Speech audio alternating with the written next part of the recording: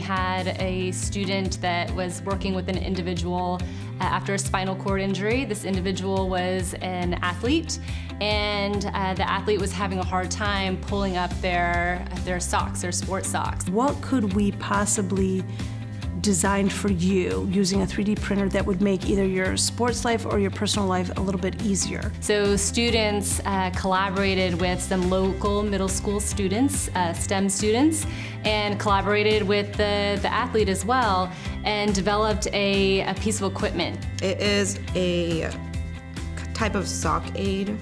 Um, the purpose of it is to help pull longer socks up if you don't have the ability to use your fingers and it's 3D printed and I designed it myself. I've never um, experienced a 3D printer before and this is my first time with it. I think it's great that the university has that option for us and um, even just this one experience, like I said, I could take it further and maybe advocate for 3D printers and facilities that I work in in the future. So I think it's very innovative and I think all universities should have it.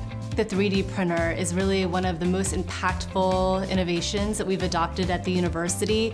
It really allows students to take on a creative and inventive mindset, to come up with ideas for clients, and once they have that idea in their mind, they can uh, utilize software to develop it, and then use the 3D printer to make that idea come to life.